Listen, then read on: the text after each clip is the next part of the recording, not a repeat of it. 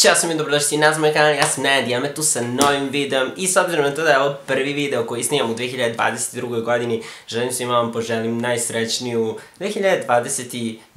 godinu. To vam želim već u 2020. 2021. nije bilo tako, tako da ne znam šta vam kažem, nadam da će ovo biti malo bolje od prethodnih, kao i sve ostale praznike, Božić, sve, kad god slavite, ne znam ni kada će izaći ovaj video. Uglavnom, danas sam odlučio da radim Q&A, pošto nisam radio 8 meseci, ja bih rekao ja bukvalno zaboravim da postoji ova tema za video, znači skroz, skroz zaboravim zato što kao valjda sam navikao da me stalno pitate na Instagramu šta vas zanima, ali volim ponekad da snimim i za YouTube, pogotovo kad nema ideje šta drugo snimim. Ako vam se dopadne video, obavezno ostavite like i prijavite se na moj kanal i nemojte zaboraviti me zapratite na Instagramu. I to je to, sad lepo možemo pređemo na video. Ovo je bilo sve vreme, ali neću da jako.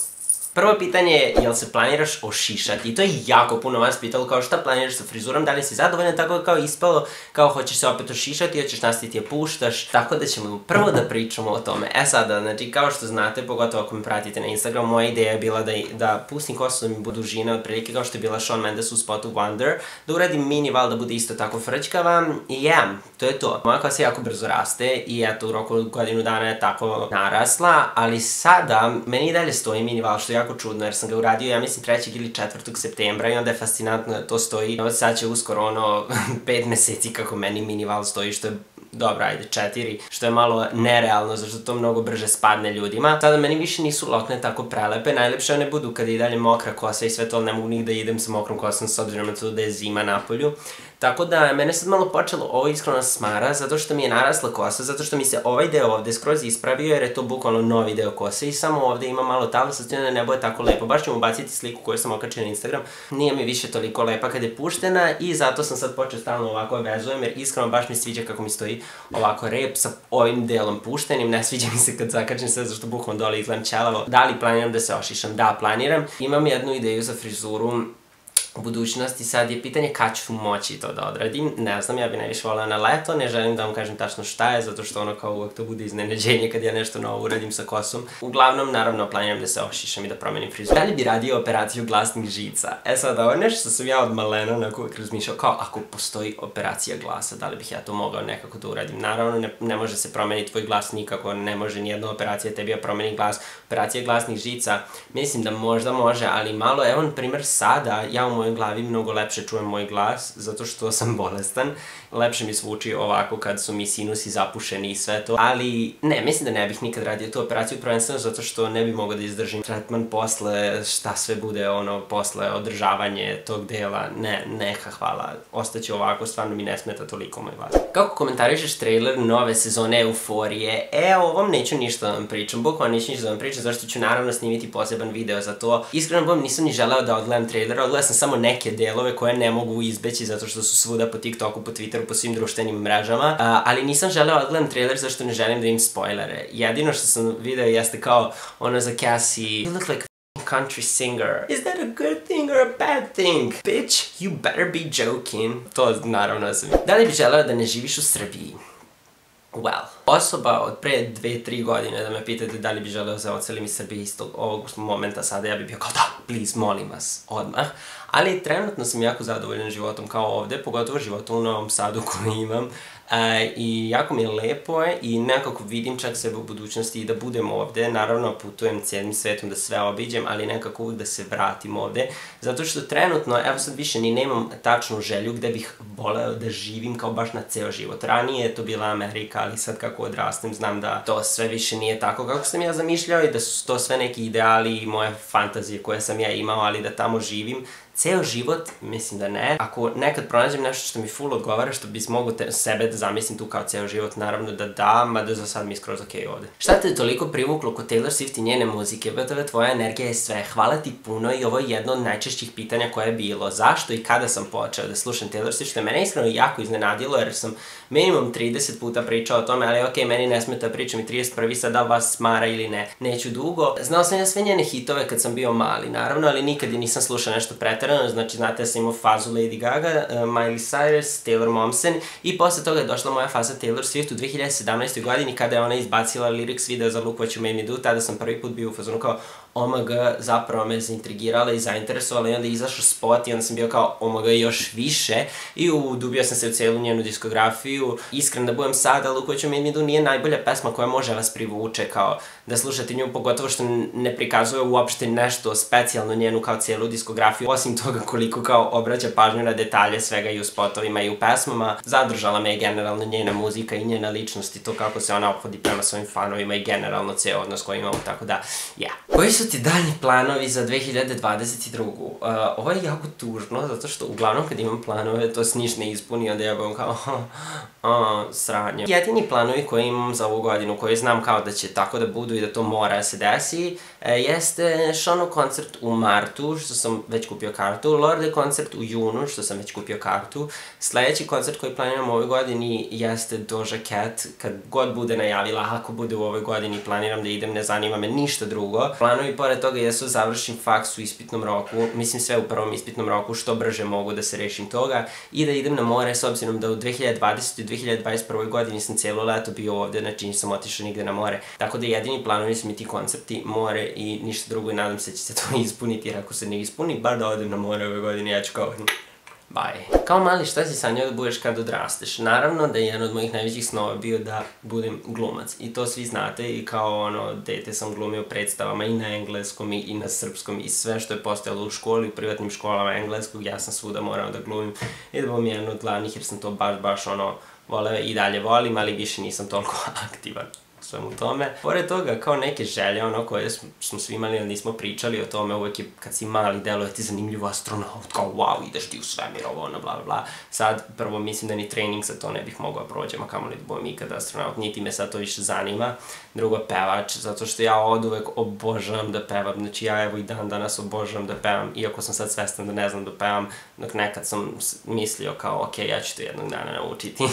da, uglavnom, to je to, najviše glumac, ja bih. Jel lako održavati minimal frizuru. Nije toliko lako, ali nije ni toliko teško koliko biste očekivali. Jedini problem sa tim jeste što, eto, na primjer, ja sam radio u septembru, već kad više nije tako toplo i lepo vreme napolju. Da sam radio na leto, bilo bi mnogo lakše, jer možeš samo opereš kosu da imaš neverovatne lokne, jer kad ti je mokra kosa, tad su one neverovatne i izađeš napolje bez problema. Ovako sam morao koristiti neko laneno seme i sve tako kao, bukvalno da bih mogao pravim lokne koje će se zadrže duže od 2-3 dana u početku i onda već vremenom kako je krenulo da opada, to je počelo da stoji samo po jedan, jedan i po dan i onda postao bude više ono kao, ne budu lepe lokne, uglavnom bude frčkavo, ali ne budu to tako lepe lokne, tako da na ovu moju kosu, ok, i sledeći put kad budem radio, ako budem radio, to će definitivno biti na leto, jer ovo kao zimi ne, ne isplati se, nema toliko smisla. Mislim, nije teško izdržavati, ali poenta toga je da izgleda jako lepo i da budu lepe lokne, što je teško ako se kosa ne suši prirodno. Da li ćeš da odradiš Taylor komentar kao tetovažu? Neko me isto pitao nešto za tetovažu i da, moj jedini plan koji imam za tetovažu, ranije sam ja imao neke ideje koje su mi, eto, bile toliko bitne da sad uopšte ne mogu da ih se setim, što bih, na primjer, ja sam sebi rekao, eto, hvala ih samom sebi i mojim roditeljima što mi nikad nisu dali uradim tetovažu, zašto bi se sad verovatno pokajao, jer eto, sad ne mogu toga nije se setim koliko mi zapravo nije uopšte bilo bitno. Tetovaža I love it, I love it, planiram da uradim na jednom mesnom svom telu i neću vam kažem, e, sve dok ne odradim, tek kad odradim onda ću vam pokažem, zato što mi je jako zanimljiva ideja, jako mi se sviđa i kao to je neki moment koji će mi zauvek biti jako drag i jednog dana za 40-50 godina kad ja budem i zaboravio Taylor Swift postoji što se neće desiti, ali ajde da kažem kao zaboravio ili nemam pojma šta se desi, I love it, I love it, I love it. Može mi znači bilo šta, tako da... Mišljenje od DDJ i Iggy Azalea. jao, jao, jao, jao, ja bih voleo da ja imam tako nekog ko će mi sredi. Takvu fantaziju i takav svet da ja živim. Pesma kao pesma je katastrofa, čak mi ni Iggy nije uspela da izvuče, zašto mi muzika zvuči kao Super Mario, svi znamo da Didi nema pojma ni da peva ni ništa. I nije mi uopšte catchy pesma kao, na primjer, Flashing Lights. Strašno.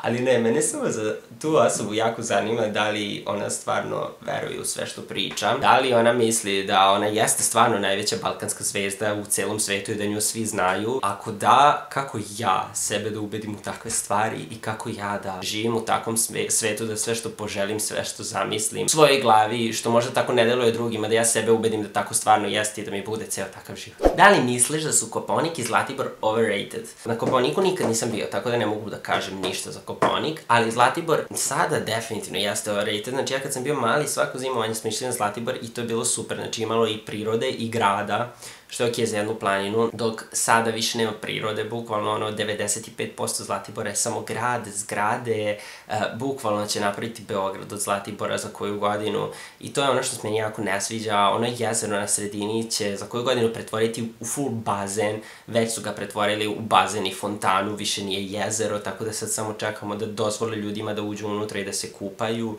Zlatibor je jako overrated i danas ovi mladi koji idu na Zlatibor više niko ne ide da bi išao kao, ej, idem na planinu, ne, nego svi idu da bi izlazili. Što po meni nije poenta planine, zato ja jako volim taru.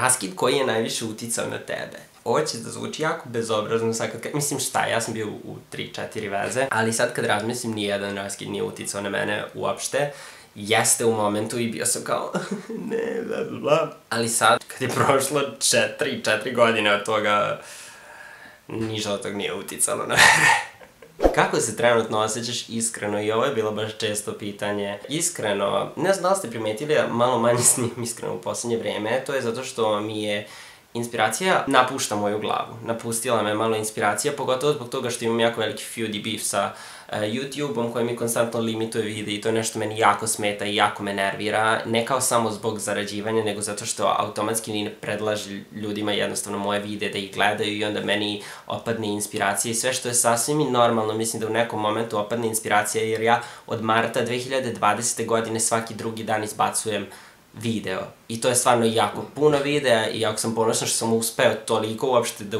izguram i sad ću ja to nastaviti, vratit ću ja sebi sve to u normalnu, naravno, ali trenutno se osjećam uh, jako nezadovoljno zato što sam ovu godinu počeo bukvalno bolestan, automatski sam se posle nove godine razboleo, pre nove godine sam isto bio malo bolestan i to mi jako smeta, to me jako nervira, ali iskreno nadam se će ostatak biti dobar jer kao 31. kad sam došao u Novi Sad, jako sam imao problem oko parkinga, oko ovog, ono, ispizdeo sam i tako sam došao nadrndan i trebao sam da idem na tu jednu dnevnu žurku, išao sam do tamo i samo sam razmišljao kao koliko uh, tu moju nervozu i taj bes što sam imao i u prošloj godini moram negde da stavim sa strane i da ne razmišljam o tome i da ostavim u prošloj godini i hoću kao da izdahnem i da budem smiren i normalan nekako ove godine da se jednostavno lepše osjećam budem zadovoljni. Jeste, meni 2021. bila isto odlična godina, pogotovo leto, ali mislim da ovo može bude još bolja, da ja ostavim tu svu nervozu koja meni izaziva i te neke zdravstvene probleme i sve u prošloj godini. I vidjet ćemo kako će biti. Nije dobro počela, ali nadam se će nastaviti da ide na bolje. Mišljenje o vojažu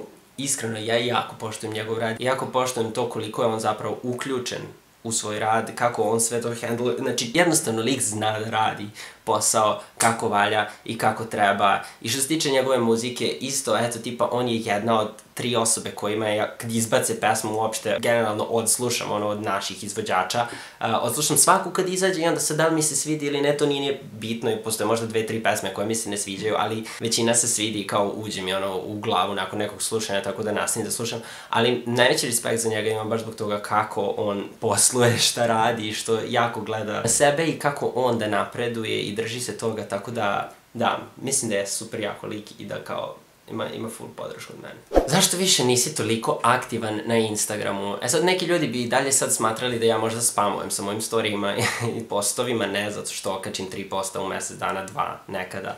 Ali zašto više nisam toliko aktivan? Pa ovako, ja sam shvatio da mene lično smara kad neki ljudi preterano pokazuju svoj život na društvenim mrežama, osim ako im je život ekstremno zanimljiv, što moj život nije. I moj život koji je ovako dosadan, ja nemam šta da vam pokažem, naravno neću više ništa da kačim. Jer ja sam nekada kačio po 20 pesama na story, 20 slika koje su toliko irelevantne i dosadne, ja sad kad ono u memories pogledam šta sam kačio, bum, pa sam kao, uh, dosta. Tako da sam definitivno sad prestao da kačim puno stvari. Mislim, kad mi se dešava nešto, kad mi je zanimljivo, okačim ili kad imam neku sliku ili bilo šta. Generalno, uopšte ne koristim više telefon kad je zanimljivo u životu. Ne slikam. U galeriji možda 200 slika od prošle godine novih imam, tako da to vam dosta govori i eto, trenutno nisam uopšte bio aktivan zato što sam bolesan i isto nemam što da kačim, tako da to je jedan od glavnih razloga. Kako ti je počela 2022. godina? Da, to sam otprilike malo pre odgovorio kad sam rekao kako se trenutno osjećam. Nije počela dobro, ali nadam se da će nastaviti bolje malo i da će nam svima biti lepše i svima bolje, zašto mislim da zaslužujemo to nakon ovih sranje godina. Ostaje nam samo se nadamo jer nada poslednja umire i sve se dešava sa razlogom što je dokazano milion, milion, milion puta u 2021. godini za mene. To je to, ja se nadam da se vama dopao video, ako jeste obavezno ostavite like i prijavite se na moj kanal i bit će još ovakvih videa nekada vi možete mi postavljati pitanja tako da možete me zapriti na Instagramu i čekati tamo da vam napišem kada ili mi pisati ovde u komentarima pa ću izvući nešto i odavde. I da, to je to, ovde imate najnovije video na ovom kanalu, ovde imate playlistu sa ostalim celebrity videima gde komentarišem poznate ličnosti, komentarišem serije, komentarišem filmove, svašta, jako puno videa ima tu koji su zanimljivi, tako da ako uđete tu, nikad nećete izaći iz te playliste, a mi se onda vrlo brzo vidimo u sledećem videu. Ćao!